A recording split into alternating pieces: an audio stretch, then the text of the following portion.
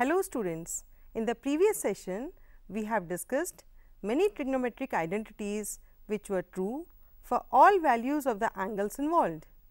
In this session, we intend to discuss those identities where certain relationship exists among the angles involved.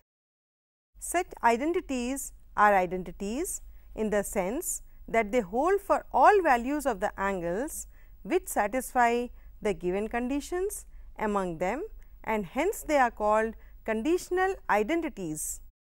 If A, B and C denotes the angles of a triangle ABC, then the relation A plus B plus C is equal to pi enables us to establish many important identities involving trigonometric ratios of these angles. The following results are useful to obtain the said identities. First, if a plus b plus c is equal to pi, then a plus b is equal to pi minus c, b plus c is equal to pi minus a and c plus a is equal to pi minus b. Second one, if a plus b plus c is equal to pi, then sine of a plus b is equal to sine of pi minus c that is sine c. Sine of b plus c is equal to sine of pi minus a is equal to sine a and sine of c plus a is equal to sine pi minus b is equal to sine b. If a plus b plus c is equal to pi, then cos of a plus b is equal to cos of pi minus c that is equal to minus cos c. Cos of b plus c is equal to cos of pi minus a that is equal to minus cos a. Cos of c plus a is equal to cos of pi minus b is equal to minus cos b. If a plus b plus c is equal to pi, then tan of a plus b is equal to tan of pi minus c that is equal to minus tan c. Tan of b plus c is equal to tan of pi minus a that is equal to minus tan a. Tan of c plus a is equal to tan of pi minus b that is equal to minus tan b. If a plus b plus c is equal to pi, then a plus b upon 2 is equal to pi upon 2 minus c upon 2. b plus c upon 2 is equal to pi upon 2 minus a upon 2 and similarly c plus a upon 2 is equal to pi upon 2 minus b upon 2. All problems on conditional identities are broadly divided into the following four types. Type 1 identities involving sines and cosines of the multiples or submultiples of the angles involved. Type 2 identities involving squares of sines and cosines of the multiples or submultiples of the angles involved. Type 3 identities involving tangents and cotangents of the multiples or submultiples of the angles involved. In the type 4 identities, identities involving cubes and higher powers of the sines and cosines and some mixed identities. We shall now discuss these types of identities one by one. Firstly, let us take up type 1 identities, identities involving sines and cosines of multiples or submultiples of the angles involved. To prove these identities, we use the following algorithm. In step 1, express the sum of first two terms as the product by using one of the following formulae. Sin C plus sin D is equal to 2 sin C plus D upon 2 into cos C minus D upon 2. Same way sin C minus sin D is equal to 2 sin C minus D upon 2 into cos C plus D by 2. Cos C plus cos D is equal to 2 cos C plus D upon 2 into cos c minus d upon 2. Cos c minus cos d is equal to minus 2 sin c plus d upon 2 into sin c minus d upon 2. In the step 2, in the product obtained in step 1, replace the sum of two angles in terms of the third by using the given relation. In step 3, expand the third term by using one of the following formulae. Sin 2 theta is equal to 2 sin theta cos theta, cos 2 theta is equal to 2 cos square theta minus 1, cos 2 theta is equal to 1 minus 2 sin square theta etc. In step 4, take the common factor outside. In step 5, express the trigonometric ratio of the angle in terms of the remaining angles. In step 6, use one of the formulas given in step 1 to convert the sum into product. Now, let us solve an example with the help of the algorithm. If a plus b plus c is equal to pi, prove that sin 2 a plus sin 2 b plus sin 2 c is equal to 4 sin a into sin b into sin c. Now, LHS is equal to sin 2 a plus sin 2 b plus sin 2 c. This can be expressed as sin 2 a plus sin 2 b on clubbing together plus sin 2 c.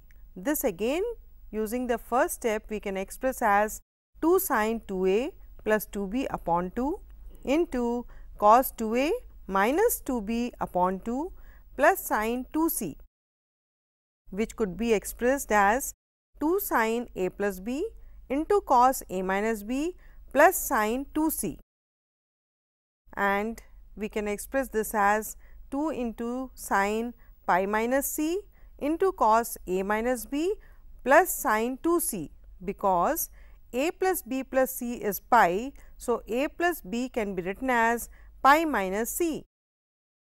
Now, 2 sin c into cos a minus b plus 2 sin c into cos c could be expressed as 2 sin c into cos of a minus b plus cos c and 2 sin c into cos a minus b minus cos of a plus b because cos of a plus b is equal to cos of pi minus c.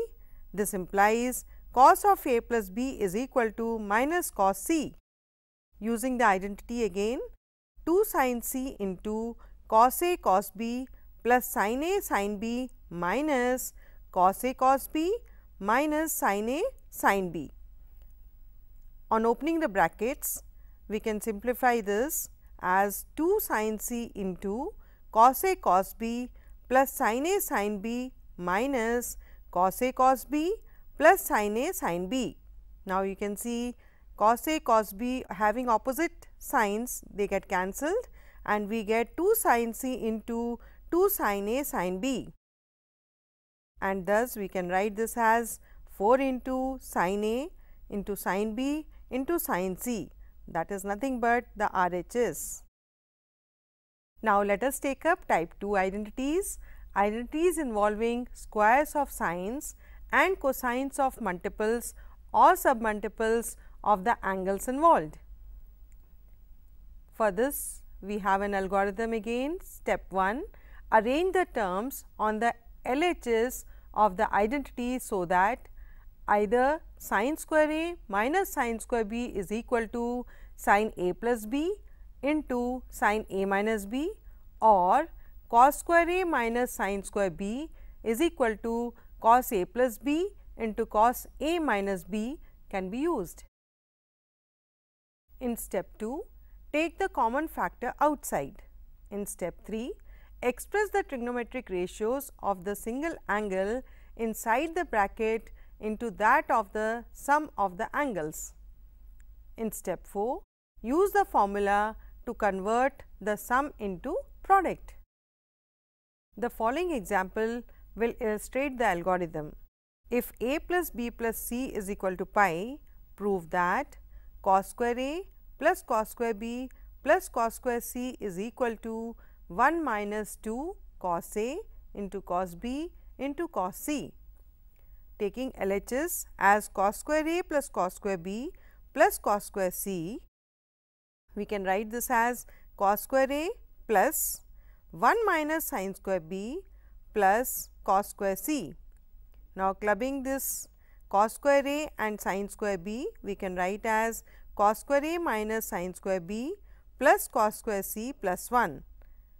I hope you can follow here we are using an identity a square minus b square as a plus b into a minus b and thus we can express cos of a plus b into cos of a minus b plus cos square c plus 1. This again can be written as cos pi minus c into cos of a minus b plus cos square c plus 1 that gives minus cos c into cos a minus b plus cos square c plus 1. Taking minus cos c common, we can write this as cos c into cos of a minus b minus cos c plus 1.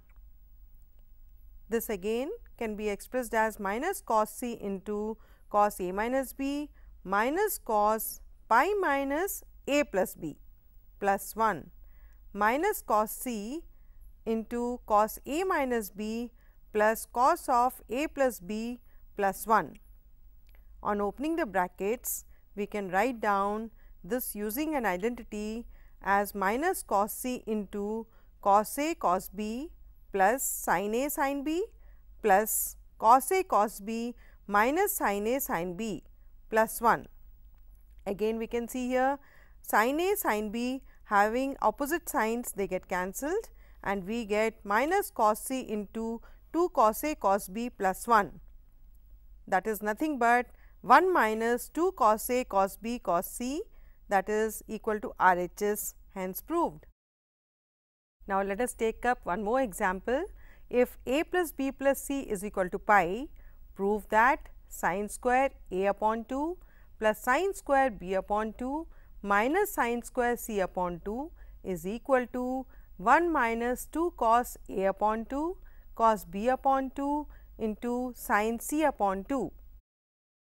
Now, considering the LHS as sin square a upon 2 plus sin square b upon 2 minus sin square c upon 2, we can simplify this as sin square a upon 2 plus sin of b upon 2 plus c upon 2 into sin of b upon 2 minus c upon 2. This again can be simplified as sin square a upon 2 plus sin b plus c upon 2 into sin b minus c upon 2 that is equal to sin square a upon 2 plus sin pi minus a upon 2 into sin b minus c upon 2. I hope you understand how I have written b plus c upon 2 as pi minus a upon 2 because a plus b plus c is equal to pi we are given in the question that is equal to 1 minus cos square a upon 2 plus cos a upon 2 into sin b minus c upon 2. Now, taking 1 minus cos square a upon 2 minus cos a upon 2 into sin b minus c upon 2, we can express this as 1 minus cos a upon 2 taking cos a upon 2 common we could write this as cos a upon 2 minus sin b minus c upon 2. Now, 1 minus cos a upon 2 into cos pi by 2 minus b plus c upon 2 minus sine b minus c upon 2. This could be expressed as 1 minus cos a upon 2 into sine b plus c by 2 minus sine b minus c upon 2. Solving this is equal to 1 minus cos a upon 2 into sine b upon 2 plus c upon 2 minus sine b upon 2 minus c upon 2. Using identity 1 minus cos a upon 2 into sin b upon 2 into cos c upon 2 plus cos b upon 2 into sin c upon 2 minus sin b upon 2 into cos c upon 2 minus cos b upon 2 into sin c upon 2. On opening the brackets we see here sin b upon 2 into cos c upon 2 get cancelled because they are having opposite signs and we could express this as 1 minus cos a upon 2 into 2 cos b upon 2 into sin c upon 2. Thus, we can write this as 1 minus 2 cos a upon 2 into cos b upon 2 into sin c upon 2 that is equal to RHS. Now, taking type 3 identities, identities involving tangents and cotangents of the angles involved. We have an algorithm for that. In step 1, express the sum of the two angles in terms of third angle by using the given relation. In step 2, take tangents of both sides. In step 3, expand the LHS in step 2 by using the formula for the tangents of the compound angles. In step 4, use cross multiplication in the expression obtained in step 3. In step 5, arrange the terms as per the requirement in the sum. If the identity involves cotangents, then divide both sides of the identity by the tangents of all angles. Now, let us take up one more example. If a plus b plus c is equal to pi, prove that tan a plus tan b plus tan c is equal to tan a into tan b into tan c. And second one cot or a cot b plus cot b into cot c is equal to cot c into cot a that is equal to 1. For the solution, we have a plus b plus c is equal to pi. So, a plus b can be written as pi minus c. Thus, taking tan on both sides, tan of a plus b is equal to tan of pi minus c. This on using the identity tan a plus tan b upon 1 minus tan a tan b is equal to minus tan c. On cross multiplying tan a plus tan b is equal to minus tan c plus tan a into tan B into tan C. On rearranging, we have tan A plus tan B plus tan C is equal to tan A into tan B into tan C. For the second part, dividing both sides of the first equation by tan A into tan B into tan C, we get tan A plus tan B plus tan C divided by tan A into tan B into tan C is equal to tan A into tan B into tan C upon tan A into tan B into tan C. This implies 1 upon tan B into tan C plus 1 upon tan C into tan A plus 1 upon tan A into tan B is equal to 1. This again implies cot B into cot C plus cot C into cot A plus cot A into cot B is equal to 1 because cot theta is equal to 1 upon tan theta. We will consider one more example here. Prove that tan x minus y plus tan y minus z plus tan z minus x is equal to tan of x minus y into tan y minus z into tan z minus x. For the solution, let alpha be x minus y, beta be y minus z and gamma be z minus x. Then alpha plus beta plus gamma can be written as x minus y plus y minus z plus z minus x that is obviously 0. Therefore, tan of alpha plus beta plus gamma is tan 0. This implies tan alpha plus tan beta plus tan gamma minus tan alpha into tan beta into tan gamma divided by 1 minus tan alpha into tan beta minus tan beta into tan gamma minus tan gamma into tan alpha is equal to 0. This again implies tan alpha plus tan beta plus tan gamma is equal to tan alpha into tan beta into tan gamma.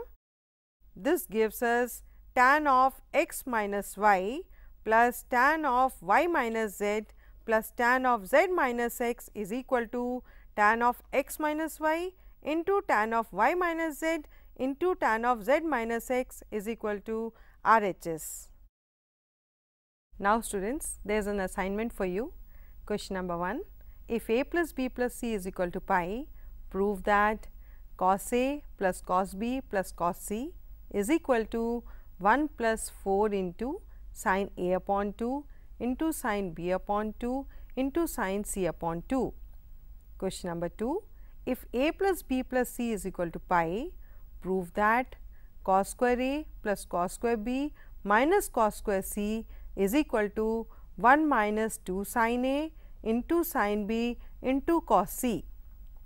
Question number 3. If a plus b plus c is equal to pi, prove that tan a upon 2 into tan b upon 2 plus tan b upon 2 into tan c upon 2 plus tan C upon 2 into tan A upon 2 is equal to 1. So, students today you have learned how to solve conditional identities of various types. Thank you.